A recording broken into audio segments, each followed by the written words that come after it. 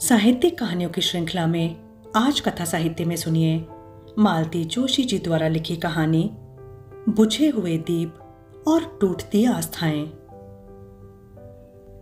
चाय का पानी गैस पर चढ़ाकर उसने फ्रिज में झांका। दूध का कहीं पता ना था। किचन प्लेटफॉर्म पर दूध का खाली बर्तन ही मिल जाता तो वो उसे खंगाल कर चाय में डाल देती। पर वह तो आधा दर्जन कप प्लेटों के साथ सिंक में पड़ा था। उफ, ये आदमी दिन भर में कितनी चाय पीता है। कम से कम यह तो सोचना चाहिए कि स्कूल से लौटने के बाद उसे भी चाय की तलब होगी, खासकर आज जबकि उसका शनिवार का व्रत है। यह भी नहीं हुआ कि सामने की गुमटी से एक पैकेट ही लाकर रख देते। दूध खत्म हो गया क्या? उसने जानबूझकर बाहर आकर पूछा। पति ने टीवी से नज़रें हटाए बिना ही जवाब दिया, फ्रिज में नहीं है ना? तो खत्म ही हो गया होगा। आधा लीटर तो लेती हो, उसका भी पंचनामा करने बैठ जाती हो। वो भुनभुनाते हुए भीतर लौट आई। हूँ, ये आधा लीटर दूध भी कैसे जुटा रही हूँ? मैं ही जानती हूँ, पर उन्हें तो दीन दुनिया से कोई मतलब ही नहीं है। सब कुछ उसके भरोसे छोड़कर वो निश्चिंत हो गए हैं। उसने किसी तरह वह काली चाय ही कटक ली और फ्रिज में से लौकी निकालकर छीलना शुरू कर दिया। कुछ देर बाद पतिदेव भीतर आए। तुम्हारी चाय बन गई क्या? दूध तो है ही नहीं। चाय काहे से बनेगी? शिट, मैं सोच रहा था अपने लिए बनाओगी तो दो घूट मैं भी ले लूँगा। दूध ला दीजिए, अभी बना देती हूँ। सुबह थोड़ा ज़्यादा ले लिया करो ना। घी और मक्खन तो तुम्हारे राज में सपना ही हो गए हैं। पर कम से कम चाय तो मन भर के पीने दो। सब्ज़ी काहे की बना रही हो? लौकी। इससे सस्ती कोई सब्ज़ी बाज़ार में नहीं है क्या? ये आपसे किसने कह दिया कि लौकी सस्ती है? एक आदमी को छोड़कर बाज़ार में कुछ भी सस्ता नहीं है। दालें सोना हो रही हैं और प्याज आकाश छू रहा है।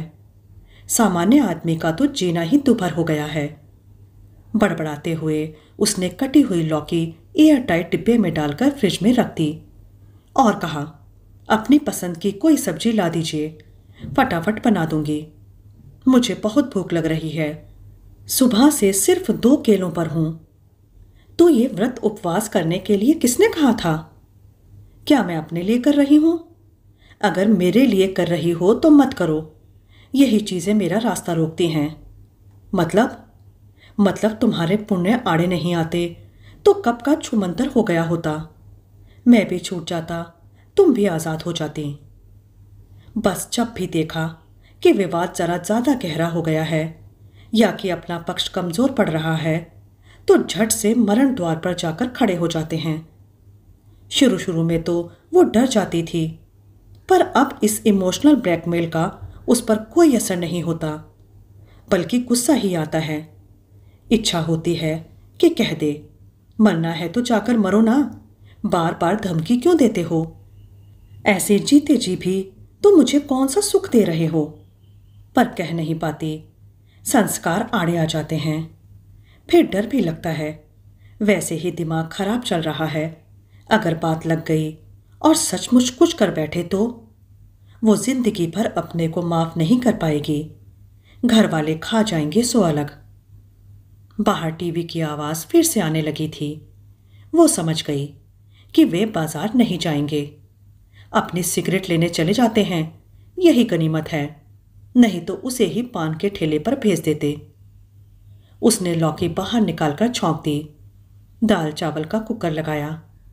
आटा गूंद कर रख दिया और बर्तन साफ़ करने में जुट गई। जितनी तेज़ी से उसके हाथ चल रहे थे, उतने ही रोश से वो भुनभुना रही थी। जानते हैं, आजकल मेहरी नहीं है, फिर भी बर्तनों का ढेर लगा देते हैं। हर बार नई पतीली निकालेंगे। मेहरी होती तो बिदक कर भाग जाती। पर ये जो बिना पैसे वाली नौकरानी है ना, ये भागकर कहाँ जाएगी? उसे तो यहीं खटना है। तवा गैस पर रखकर उसने प्लेट लगा दी। और खाने के लिए आवाज़ दी। उसकी पूरी रोटियाँ बन गई, पर वे नहीं आए। फिर उसने अपनी भी प्लेट लगा ली और आवाज़ दी। वे भीतर आए, तब तक वो एक रोटी खा चुकी थी। उसे सचमुच जमकर भूख लगी थी। वे बेमन से थाली पर बैठे और कौर चुभलाते रहे। अपनी नाराज़गी को, नापसंदगी को ज़ाहिर करने का उनका यह तरीका था, पर उसने ध्यान नहीं दिया। वो अपना पूरा खाना खाकर ही उठी। खाना खाते हुए उसे याद आया कि दो दिन से बड़े भैया का पत्र आया पड़ा है। उन्होंने एक दो पते दिए थे। पूछना चाहती थी कि वहाँ संपर्क किया या नहीं, पर उनका मूड देखकर चुप रह गई। इस समय पूछना बर के छत्ते में हाथ देने जैसा ही था। वैसे भी आजकल बड़े भैया का नाम लेते ही उन्हें आग लग जाती है। कहते हैं तुम्हारे भैया तो चाहते हैं कि मैं उनके दोस्तों के दफ्तर में चपरासी बन जाऊँ। यह सच है कि भैया बहुत अच्छी नौकरियों के प्रस्ताव नहीं दे पा रहे थे, पर यह स्वाभाविक ही था ना। इतनी अच्छी नौकरी थी, वह नहीं रह पाई। अब जो भी मिलेगी, वह दोयम दर्जे की ही होगी ना। कम से कम उसे काम चलाओ रूप में तो स्वीकार किया जा सकता है। खाने के बाद उसने बर्तन साफ़ किए। रसोई समेटी। रोज तो सुबह के लिए सब्ज़ी भी काट कर रख लेती थी, पर आज घर में कोई सब्ज़ी नहीं थी। वैसे भी कल इतवार था। उसे स्कूल जाना तो था, पर देर से। कमरे में आकर उसने बिस्तर ठीक किया और कल के लिए बैग भरकर रख लिया। कार्यक्रम तो छह बजे से है, पर स्टाफ को दो बजे बुलाया है। उसके जिम में रंगोली है, स्टेज की सजावट है। गमलों का कलात्मक संयोजन है। यह सब करते कराते उसका हुलिया ही बिगड़ जाएगा। पाँच दस मिनट जो भी मिलेंगे, उसमें उसे तैयार होना है। इसलिए एक अच्छी सी साड़ी, कंघी, कील कांटे थोड़ा सा मेकअप का सामान फेस वॉश नैपकिन सब रख लिया और बैग अलमारी में छुपा कर रख दिया। अभी देख लेंगे तो शुरू हो जाएँगे। किसे रिझाने जा रही हो? अब चार लोग आएँगे। तो उनके सामने खिलखिलाती तो नहीं जा सकती ना मैं। पर आजकल उसका सजना सवरना एकदम संदेह के घेरे में आने लगा है। सोने से पहले एकाध सीरियल देखने की उसकी आदत हुआ करती थी। पर अब तो टीवी उसके हिस्से में ही नहीं आता। कोई ना कोई मैच हमेशा चलता ही रहता है। मैच ना हो तो फार्मूला वन रेस वह भी ना हो तो डब्ल्यू डब्ल्यू एफ़ तो है ही। पहले वाला समय होता तो वो अपने लिए अलग से एक टीवी ले लेती। पर पहले वाला समय होता तो पति दिन भर घर में क्यों दुबका रहता? आजकल वैसे तो उसे टीवी से चिड़ सी होने लगी है, पर रात में उससे बड़ा सहारा रहता है। वो तो मनाती है कि ये बुद्धू बक्सा कभी बंद ही ना हो, रात भर चलता रहे। वह चलता भी है, शायद पर देखने वाले का धैर्य चुक जाता है। इधर टीवी बंद होता है उसकी छाती में डर के बगुले से उठने लगते हैं। दहशत से उसका खून जम सा जाता है। दिन भर बेचारा सा दिखने वाला यह आदमी रात में एकदम दरिंदा बन जाता है। उस देह व्यापार में प्रेम तो खैर होता ही नहीं है। वासना का पुट भी नहीं होता। होती है केवल नफरत, तिरस्कार। लगता है जैसे जमाने भर का प्रतिशोध वो उससे लेना चाहता है। पति के इस आक्रामक रवैये से उसकी सारी संवेदनाएँ शिथिल हो जाती हैं। तब उसे और गुस्सा आता है। कहता है, अब मैं कमाता नहीं हूँ ना, इसलिए तुम्हें मुझमें रस नहीं रहा। लड़ झगड़ कर पति तो मज़े में सो जाता है और तृप्ति के खर्राटे भरने लगते हैं। पर उसे सारी रात नींद नहीं आती। सोचती है, इस तरह रोज रोज मरने से अच्छा है। एक बार की सब कुछ खत्म कर दे। पर फिर मासूम सुयश का चेहरा आँखों के सामने आ जाता है। उसे किसके भरोसे छोड़ जाएगी वो? इस अकर्मण्य आदमी के? माना कि इस समय मामा के यहाँ अच्छे से पल रहा है। पर उसे सारी ज़िंदगी तो वहीं नहीं रखा जा सकता ना। उसे कभी तो अपने घर, अपने लोगों के बीच लाना होगा। उन दिनों पति एकाएक घर बैठ गए थे। दफ्तर जाना उन्होंने एकदम बंद कर दिया था। जब भी कुछ पूछा, वे जैसे काटने को दौड़ते थे। आमदनी के स्रोत एकदम सूख गए थे। कभी शौक से एक छोटी मोटी नौकरी कर ली थी, वही अब संजीवनी का काम दे रही थी। पर उससे पूरा तो नहीं पड़ता था ना। पति से छुपकर ही फिर उसने पति के एक कुलीग से भेंट की। पता चला गबन के मामले में नौकरी से निकाल दिए गए हैं। उसके तो पैरों तले की ज़मीन ही खिसक गई। उसी व्यक्ति के साथ वो फिर बॉस से मिली। उन्होंने रूखे लहजे में कहा, जाँच चल रही है। पूरी होने पर आपके पास नोटिस आ जाएगा। उसने आँखों में आँसू भरकर पूछा, क्या अब कुछ नहीं हो सकता? बॉस कुछ नरम पड़े। बोले, देखिए, हमारे पुराने कर्मचारी हैं। इसलिए अभी तक हमने पुलिस में रिपोर्ट नहीं की है। अपने ही स्तर पर जाँच कर रहे हैं। अगर रकम भर दें तो जाँच रोक दी जाएगी। पर दोबारा काम पर लेना तो नामुमकिन है। उन्होंने जो रकम बताई, उसे सुनकर उसकी आँखों के आगे अंधेरा छा गया। उसने दोनों जेठ लोगों को खबर की। उन दोनों में से कोई भी नहीं आया। ना उन्होंने कोई मदद की पेशकश की। उल्टे उस पर आरोपों की, उपदेशों की छड़ी लगा दी।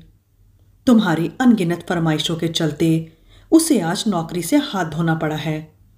आदमी को चादर देखकर पाँव पसारना चाहिए। तुम जैसी औरतों के कारण ही देश में भ्रष्टाचार पाँव पसार रहा है।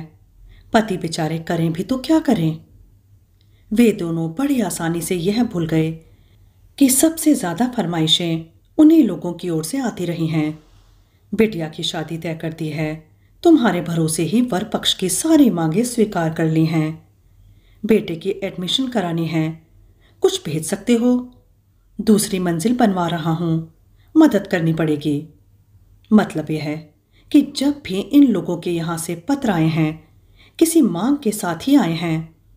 कई बार उसने ऐतराज भी किया तो पति ने डपट दिया, जिससे आशा होती है जो देने लायक होता है।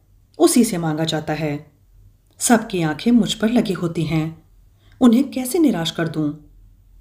आज जब अपने पर समय आया है तो उन लोगों ने बड़ी निर्ममता से हाथ ऊँचे कर दिए हैं। हार कर फिर उसने सारी लाज शर्म ताक पर रखकर बड़े भैया को पीसीओ से फ़ोन किया था। वे कृष्ण की तरह एक ही पुकार पर दौड़े चले आए थे। आते ही उन्होंने सारी कमान संभाल ली थी। और पता नहीं कैसे सारा मामला सुलटा लिया था। जाने से पहले भैया ने घर में छह आठ महीने का राशन पानी, तेल साबुन सब भर दिया था। फिर बोले, देखो, तुम्हारी यह लड़ाई अभी शुरू हुई है। वह लंबी चलेगी। वह तुम्हें ही लड़नी है। पर इस आपाधापी के बीच तुम क्या इस बच्चे पर ध्यान दे पाओगी? उसका सहमा हुआ चेहरा देखकर मेरा तो कलेजा मुँह को आ रहा है। यह सब सहने की उसकी उम्र नहीं है। उस पर इन परिस्थितियों का विपरीत प्रभाव भी पड़ सकता है। इसलिए इसे मैं अपने साथ ले जा रहा हूँ। जब सब ठीक ठाक हो जाए तो इसे खुशी खुशी ले आना। भैया के इतने अनंत उपकार थे। उस पर कि मैं वह मना नहीं कर सकी। और यह भी तो एक उपकार ही था। अब कई बार मन होता है कि उसे फ़ोन करके पूछे, बेटा, तू मज़े में तो है ना? मामा पहले की तरह प्यार करते हैं ना? मामी लाड़ करती है ना? गुस्सा तो नहीं करती? समय से खाना वगैरह तो देती है ना? मामा के बच्चे तंग तो नहीं करते? फिर उसे होश आता है कि वो तो बाहर से फ़ोन कर लेगी, पर बच्चा तो सबके बीच में बैठकर जवाब देगा ना। तब क्या वो अपने मन की बात कह पाएगा?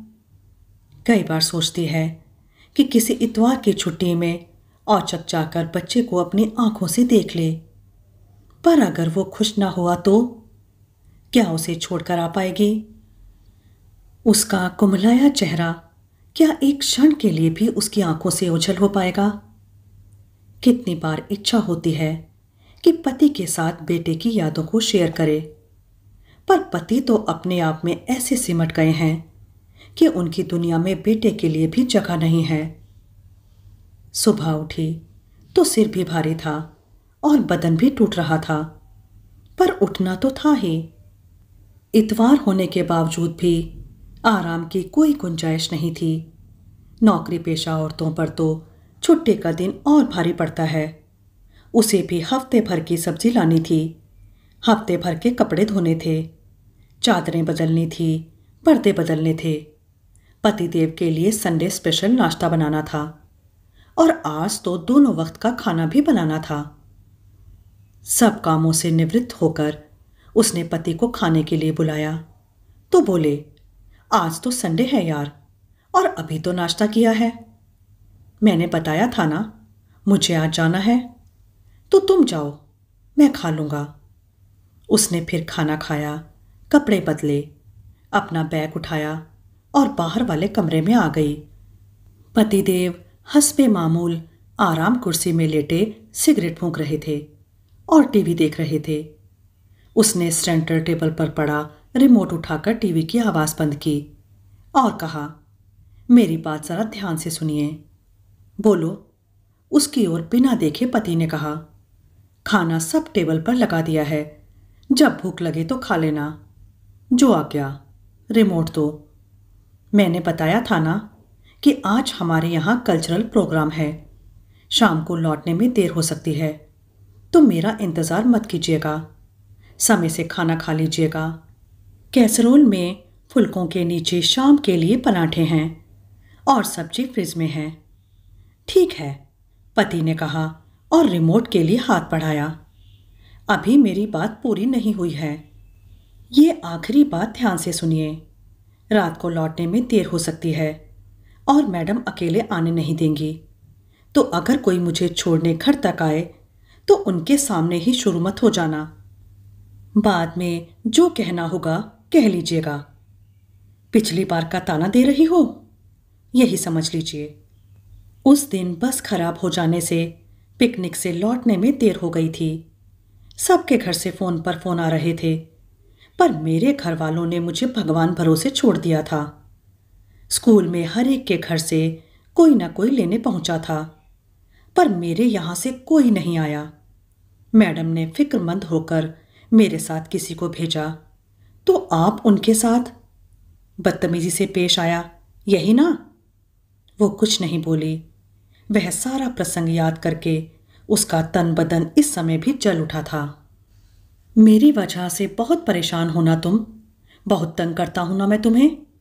इसीलिए सोचता हूँ कि ये खेल खत्म ही कर डालूं तो अच्छा। मैं भी यही सोचती हूँ। वे चौंके। इतनी उब गई हो मुझसे? हाँ बहुत उब गई हूँ। आपसे भी और अपने आप से भी। आपसे ही नहीं, इस ज़िंदगी से तंग आ गई हूँ। सुबह से शाम तक खटती रहती हूँ, पर चैन का एक पल प्यार का एक बोल नसीब नहीं होता। बस वही ताने उल्हाने। आप तो सिर्फ़ मरने की कोरी धमकियाँ देते हैं। पर मैं इस मरणांतक पीड़ा से रोज गुजर रही हूँ। पर मर नहीं पाती, क्योंकि मरने के लिए भी हिम्मत चाहिए। यह ऐरो गैरों के बस की बात नहीं है। वो समझ नहीं पा रही थी कि ये सब वो किसके लिए कह रही है? अपने लिए या पति के लिए? पति को भी शायद यही असमंजस था। तभी उनका ध्यान उसके कंधे पर लटके बैग की ओर गया। रात को घर लौटने का इरादा नहीं है क्या? ना लौटूँगी तो कहाँ जाऊँगी? इच्छा हो या ना हो, आना तो यही है।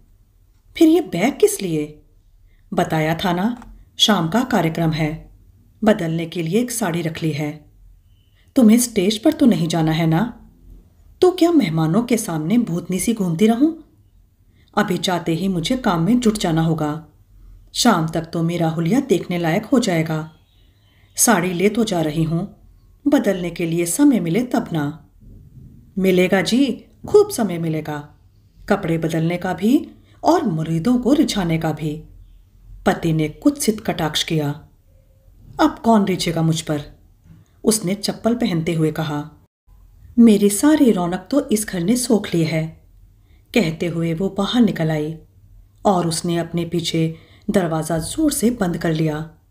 उसे लग रहा था कि अब अगर एक भी शब्द उसने सुना तो वो पागल हो जाएगी। सड़क पर आकर उसने एक बार खुलकर सांस ली और सारे अप्रिय प्रसंग को दिल से झटक दिया। एक बार स्कूल पहुँचने के बाद तो कुछ सोचने विचारने का समय ही नहीं मिला। सारे काम मुँह बाएँ उसकी प्रतीक्षा कर रहे थे। उसने अपनी चार पाँच प्रिय छात्राओं को साथ में लिया और रंगोली में जुट गई। उन छात्राओं को भी उसने इस कला में पारंगत कर दिया था। पूरा एक घंटा लगा था। स्टेज के सामने उस सुंदर कलाकृति को उकेरने में। उसके बीचों बीच दक्षिण भारतीय ढंग का पीतल का बड़ा सा दीपक रख दिया गया।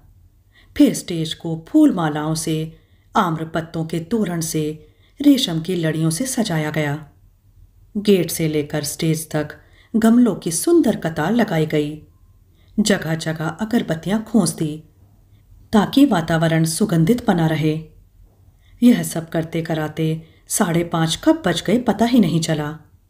वो भागकर स्टाफ रूम में पहुँची। अपने लंबे घने बालों का उसने प्यारा सा जूड़ा बनाया। अपने लिए एक गजरा बचा लिया था। उसने वह उस पर टांक दिया। प्यारी सी पतन लोर, हल्का सा मेकअप किया। होंठों पर लिपस्टिक फेरते हुए अनायास हाथ काँप गए। लगा कि पति परमेश्वर दरवाजे से झाँक रहे हैं और उनकी आँखों में वही कुत्सित व्यंग झलक रहा है। तैयार होने के बाद उसने मोतियों की एक लड़ी गले में डाल ली। इसे वो बड़े यत्न से पर्स में छुपाकर लाई थी। उसके पास अब एकमात्र यही जेवर बचा था। बड़े भैया, जब सारा काम सुलटाकर वापस जा रहे थे तो वो उनके पास जाकर खड़ी हुई। अपने गहनों का पर्स उसने भैया के सामने उलट दिया और कहा, भैया, मैं नहीं जानती आपने कितना खर्च किया और कहाँ से किया। उनका अंशतः भुगतान भी यदि भैया का चेहरा एकदम तमतमा गया। आँखें अंगार हो गईं। पगला गई हो तुम? मैं तुम्हारे गहने लूँगा? उसका चेहरा इतना सा निकल आया। आँखें टपटपा गईं। कुछ क्षण बाद भैया का आवेश भी थोड़ा ठंडा पड़ गया। बोले ऑन द सेकेंड थॉट मैं सोचता हूँ, ये कहने ले ही जाऊँ। सुयश की अमानत के रूप में ये मेरे पास सुरक्षित रहेंगे। यहाँ रखना ठीक नहीं है। वे लोग किसी भी दिन तुम्हारे घर की या लॉकर की तलाशी ले सकते हैं। लेकिन अब तो सारा मामला सुलझ गया है ना? पर अभी उन्होंने हमें क्लीन चिट तो नहीं दी, है ना? बस यही कह सकते हैं कि फ़िलहाल खतरा टल गया है। हे भगवान तो क्या सारी ज़िंदगी इसी सांसद में जीना होगा? जैसा कि तय था, कार्यक्रम ठीक दस बजे समाप्त हो गया। सामान उठाते धरते, लड़कियों को पालकों के सुपुर्द करते कराते साढ़े दस बज गए। जैसा कि अंदेशा था, चलते समय मैडम ने तिवारी को उसके साथ कर दिया। उसने भी बहसबाजी नहीं की और चुपचाप स्कूटर पर बैठ गई। चौराहे पर आते ही उसने कहा, तिवारी जी, मुझे यहाँ उतार दीजिए प्लीज़। मैं रिक्शे से घर चली जाऊँगी। आप भी अब घर जाइए। बहुत देर हो गई है। इतमान रखिए। मैडम को कुछ पता नहीं चलेगा। तिवारी जी ने जरा भी हीलो हुज्जत नहीं की। लगा कि वे बेमन से ही इस काम के लिए तैयार हुए थे। उतनी रात में रिक्शा मिलना जरा मुश्किल था। पर वे सौजन्यवश उतनी देर उसके साथ खड़े रहे। उसके रिक्शा में बैठते ही हाथ हिलाकर विदा हो गए। रिक्शे में बैठने के बाद उसे घर की सुधाई वह सब याद आने लगा, जो चलते समय हुआ। वे सारे संवाद, जो उन दोनों के बीच हुए थे। आज कुछ ज़्यादा ही तीखा, ज़्यादा ही कड़वा बोल गई थी वो। ये तक कह दिया था कि आप तो मरने की कोरी धमकियाँ देते रहते हो। कहीं इस बात को सचमुच दिल से लगा लिया हो तो सचमुच ही कुछ कर लिया हो तो और कुछ नहीं तो घर ही छोड़कर निकल गए हो तो। आधी रात को वो कहाँ ढूँढने जाएगी? और मिलेंगे भी तो पता नहीं कहाँ, किस अवस्था में। नाना तरह की आशंकाओं से उसका दिल धड़कने लगा। कलेजा मुँह को आने लगा। घर पहुँचते ही पहले उसने रिक्शे से बाहर झांका। खिड़कियों के पर्दों से भीतर का प्रकाश छनकर बाहर आ रहा था। मतलब घर पर तो हैं, पर कैसे हैं? किस अवस्था में हैं? पैसे देकर जब रिक्शे को विदा कर दिया, तब उसे टीवी की आवाज़ सुनाई दी। शायद मैच के आखिरी ओवर्स चल रहे थे। प्रेक्षकों की उत्सुकता चरम पर थी। यह शोर से ज़ाहिर हो रहा था। उसने खिड़की से झाँक कर देखा। श्रीमान जी बदस्तूर आराम कुर्सी में लेटे सिगरेट फूंक रहे थे और मैच देख रहे थे।